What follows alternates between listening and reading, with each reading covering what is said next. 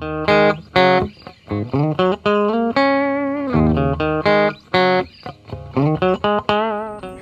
morning, Food Foresters. Amy here. Thought I'd give you a quick summer update on everything that's been going on here at the homestead. Um, it is 80 degrees, but with the humidity, it is 90 degrees right now, and it's 9 o'clock in the morning. Whew. I'm already perspirating, probably going to be uh, sweating here. But let's go ahead and let's walk around the homestead and I'll show you what's going on, what's growing, what's producing, and what has been dying off because the past two weeks here with the humidity, we have been in the 100s. So let's get the tour started. All right, we are at the bananas in front of our house. These are a mixture of the ice cream and the dwarf Cavendish. And then the two plantains, uh, those are rhino horn plantains. They're going on, going on to year two, um, but they are not ready to produce for a while. We got, I think Donald said ginger. And then with all this rain we've been getting, you can tell we got new bananas popping up. More bananas. My fire bush has been going absolutely insane on the growth. I mean, I'm in the driveway just to get the full view. Um, now, with a lot of rain, we do sometimes get, if the sun doesn't get in the way, that is a banana bloom on a tree that's little over a year old. That's technically not normal. Um, only because it, you could tell we know it's an ice cream banana one that we planted here, but the base isn't big enough. Um, for an example,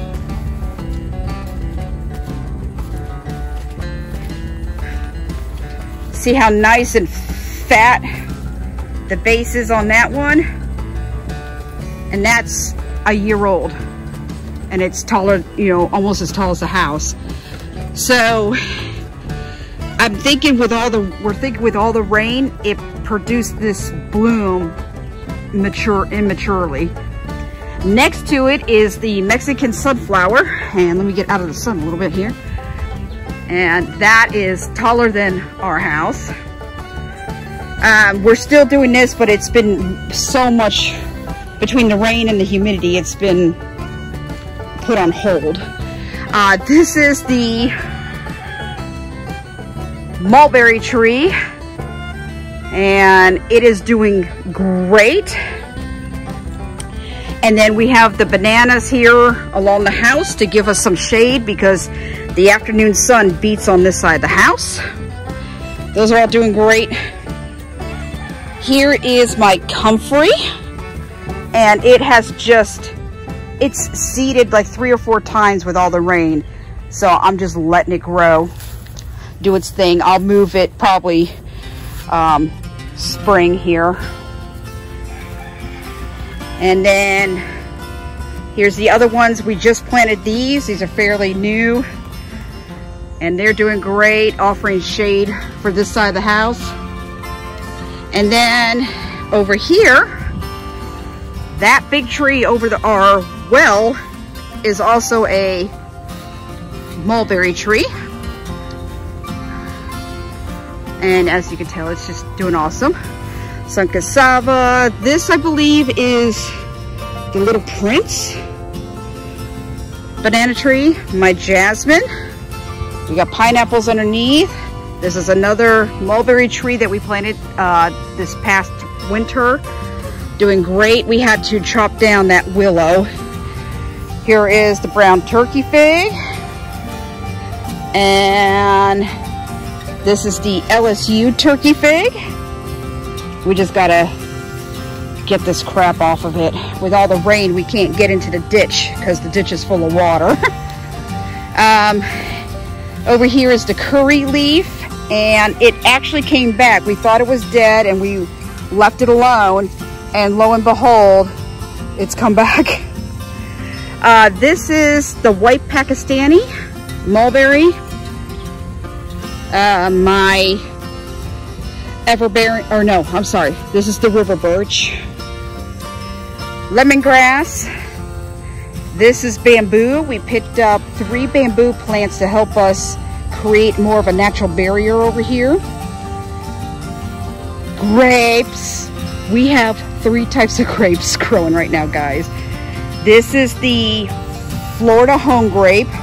They're not quite ready. They got to get this really dark burgundy um, color and they are they, they'll get sweet but this thing this year is just loaded with bear or grapes loaded with grapes uh, my bay leaf has decided to sprout again and adding more to its to the tree and look I mean grapes I'm gonna have table a bowl full of grapes on the table um, this is the Pam um, we haven't seen any grapes on this one, so, but it came back.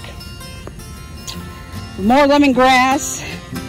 And then we have, I'm not sure, this one here is a different type of grape. I can't find the name of it. It's somewhere on here, but we got the weeds. And then our muscadine. This is a native grapevine in Florida. We got to cut that part down um, because the uh, telephone or the electric people told us, but there's some muscadine grapes right there. But the muscadine is also loaded with grapes. This was the blueberry patch. We're probably going to dig that up and try somewhere else and in a different place. Um, Loquat's doing fine. The Hawaiian, which is the the sweet Hawaiian one, uh, pineapple, produced. We have that in our kitchen right now. We're letting it ripen. Water everywhere. It rained this morning. That's why it's so freaking humidity. All right, so over here in the garden, our blackberry bush is growing and producing again. Look at that. This is one blackberry. It's huge. But yeah, we got blackberries again. I'm gonna dip over the side here and this is where we have the peanuts. We just have to get to it. Another blackberry.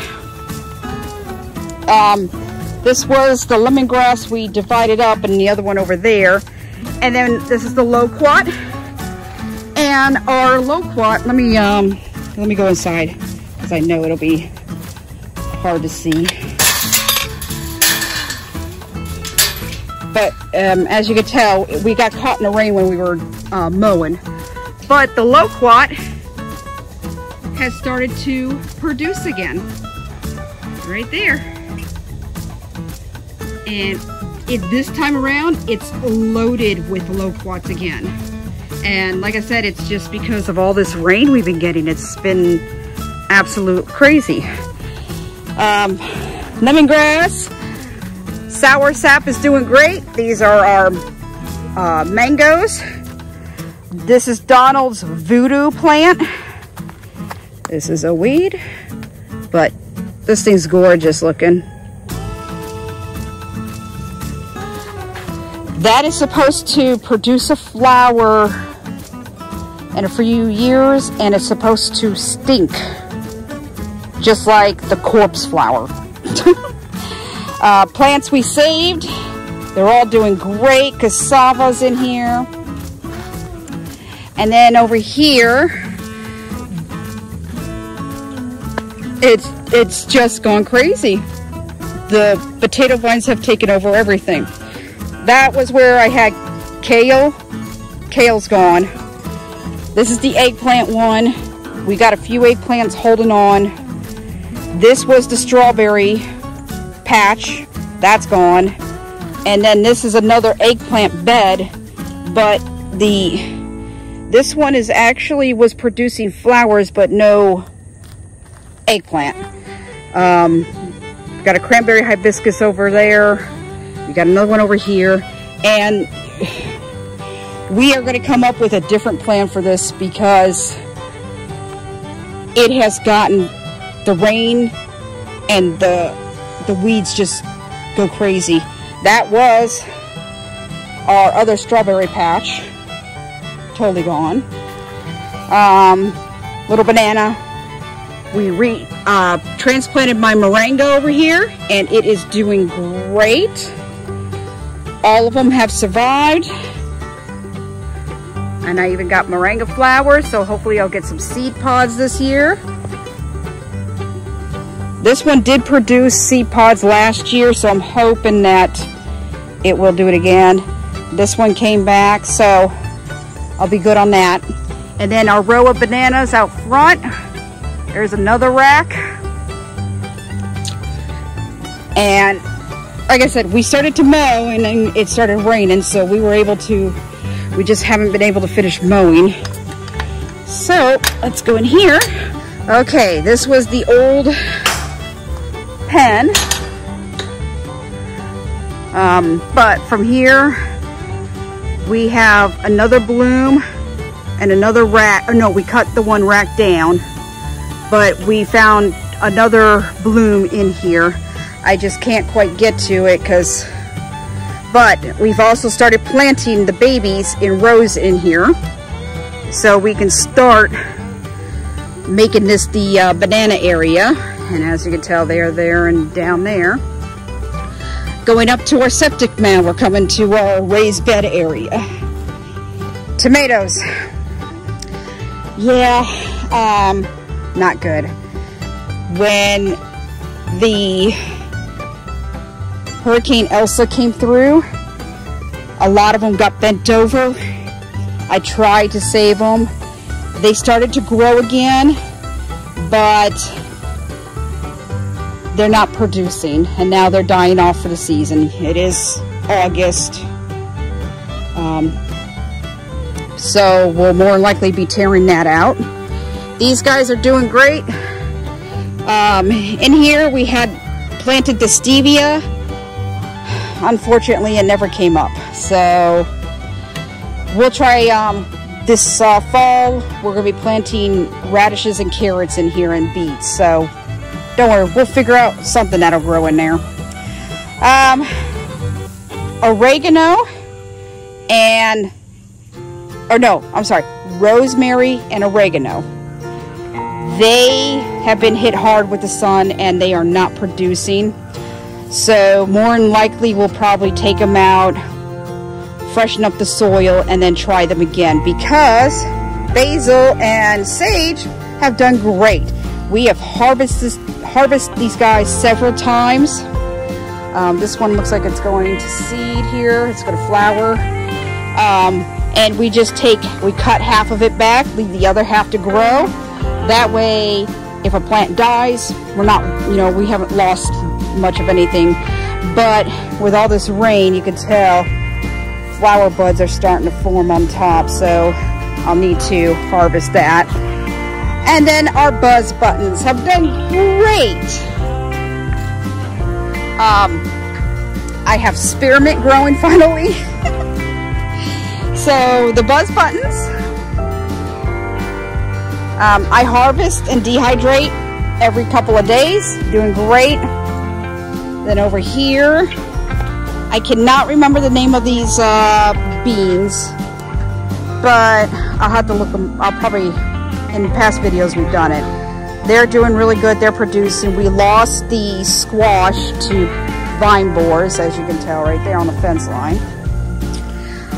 Then over here is another tire we had planted. It's doing eh, okay.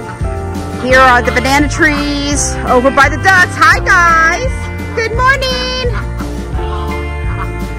Um, more bananas. These guys are doing great. Then over here, we planted the different peppers. And as you can tell, Donald's very happy. We got peppers growing. This one never produced. That one is producing and it's got little peppers on it already. And over here is soybeans. We've already harvested some they are great. These are really, really good. Um, they're doing good. And then we're also going to be saving seeds because we want more of these. This one's just loaded with seeds. I'm more likely going to have to harvest this evening. And then the mysterious tomatoes, they're doing the same thing. It's the heat. The heat is just getting to them. Same with my beautiful butterfly pea trellis. Um, as you can tell, it's dying off. I have seed pods everywhere, like right here. But the seed pods that were down here have all gone. But as we go up, I'm still getting flowers. And I'm just going to keep this until I can't do any more with it. Until it fully dies. I mean, look at all those flowers. Ain't that gorgeous? And then it's all, it's the heat. The heat is just getting to everything. And then here is the chocolate baby bells. I gotta weed them, but they're starting to die off. But you can tell. There's some over here. Those, they, they, uh, sometimes if they grow too fast, they die really fast. So I'll be picking those this uh, weekend here, or not this weekend, this afternoon. And then here is our Asian yard-long green bean vines. Fully loaded with beans again. I'll have to harvest. Right now I have four gallons that I have to get snapped and uh, blanch them so I can put them in the freezer. But as you can tell, it's just fully loaded and still producing.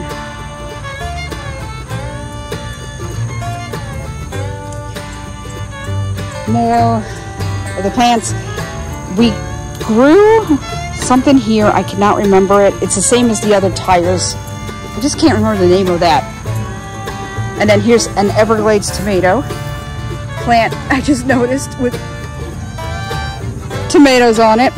This was Donald's rice paddy. It is completely flooded. And let's go into the next section. All right, by Food Forest 3 and all the ducks. And Thomas and Mrs. Turkey, or um, Blondie. There she is over here.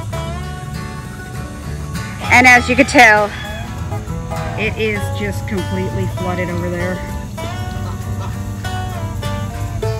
That's okay. Plenty of fish in there that everybody can fish for, have fun, and swim. Food Forest 3, we got more bananas. The purple sweet potato vines have gone crazy.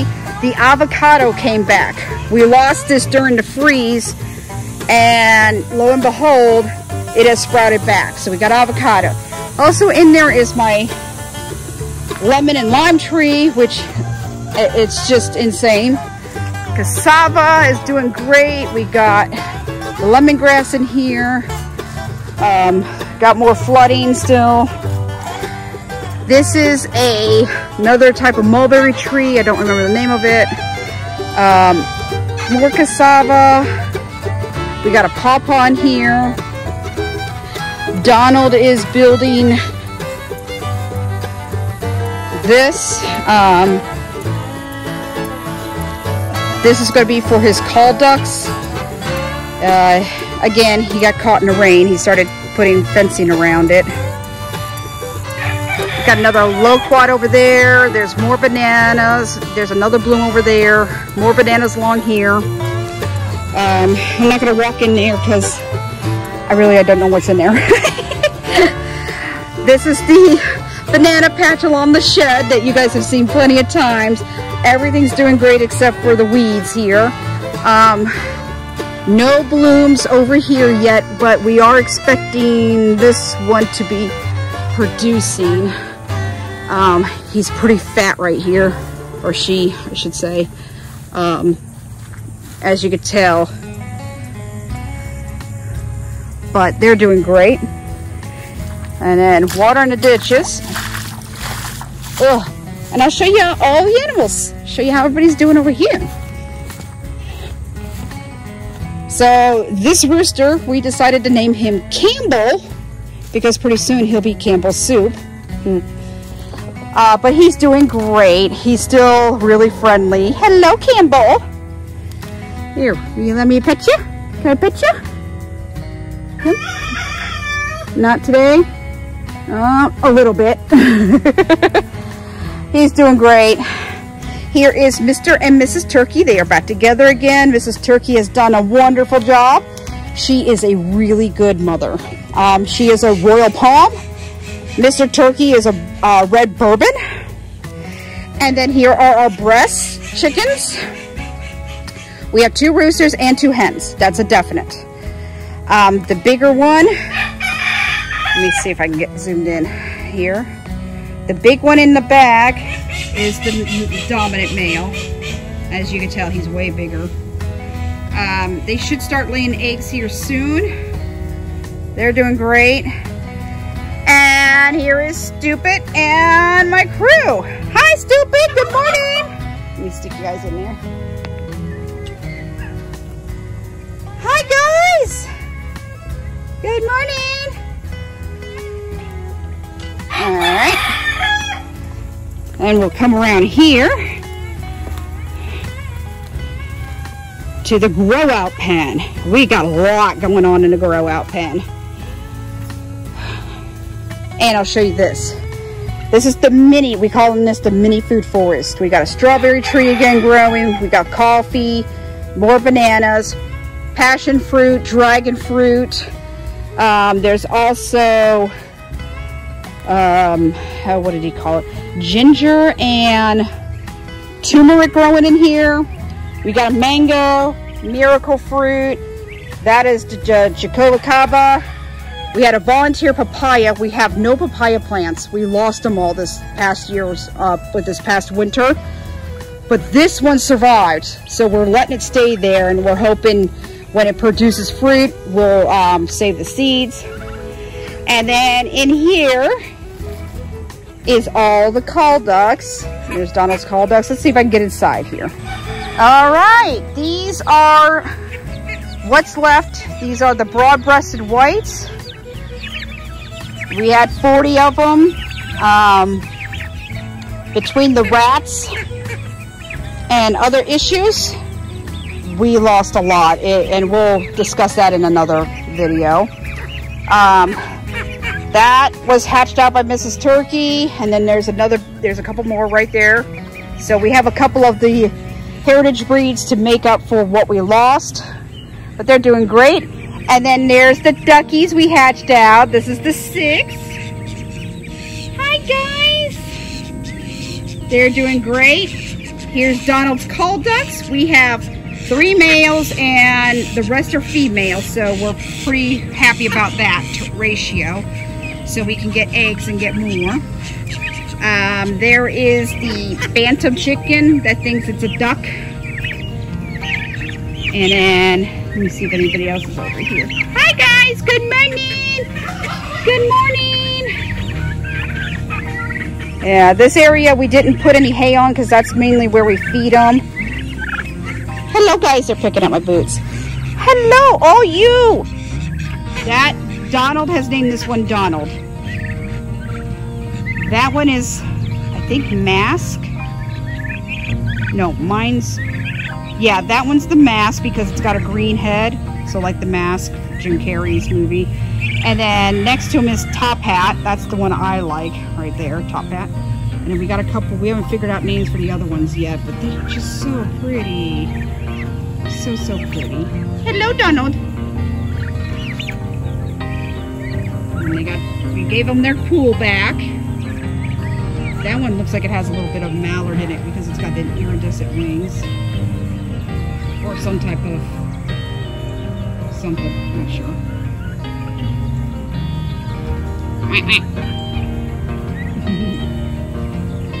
and then over here we got the baby bantams and the two turkey necks. Uh, we brought them in here for because they've grown up a little bit, but I don't want to open a door because everybody bum rushes them. But they're in there eating. Oh, you stretched out your collar again, didn't you? Hello, Clyde boy. I know, baby. It's been so muddy, huh? I know. Yes. Strike a pose. You can strike a pose? I cried. You can strike a pose. Yeah. I pet you. Yeah. But you a stinky boy. You know that? You stinky again. You would think with all this rain, you wouldn't think. He's doing great. We separated him because he started pushing Bonnie away from the food and he started getting rough with Bonnie. And so we think Bonnie might be Prego. Yes, we think. We're not sure. I've never seen her go into heat. But we know the left side is lunch, which is where their stomach or rumen is. And then the right side normally holds the babies. Bonnie girl! But she has been, I've come out here several times. She is totally sound asleep to where I would be yelling her name and she would not be waking up. And then she'd wake up and look at me confused. Um, she is also acting way different. Normally when I'm around her, she comes right up to me. And uh, she hasn't been doing that. Are you trying to get some more food? I know, Daddy's got to lower that for you, honey. But if she did get pregnant, we don't know the date. We have no clue. Um, so we separated them just because Clyde was being rough. So we're hoping, but we will see. All right, so that's it for the tour. I hope you guys enjoy it. Hit that like button. If you're not a subscriber, subscribe. Leave a comment below. Let me tell me how your summer crops or herbs or plants are doing. Um, obviously, you can see I am now fully on sweating, so I'm going to get into some AC, which we really value here in Florida. And we will see you guys on the next time. And remember, grow something for your family. Bye, guys.